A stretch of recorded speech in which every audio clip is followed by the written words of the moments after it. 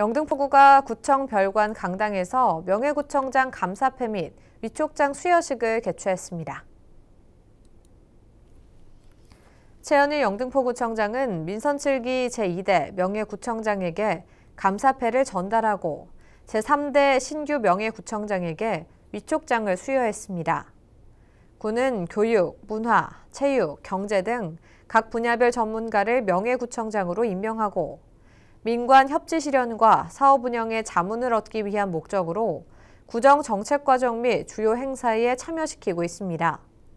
최현일 구청장은 명예구청자들의 적극적인 협조와 활약에 진심으로 감사드리며 앞으로도 명예구청장들의 지혜와 연륜을 밑거름 삼아 영등포구를 더욱 발전시키겠다고 말했습니다.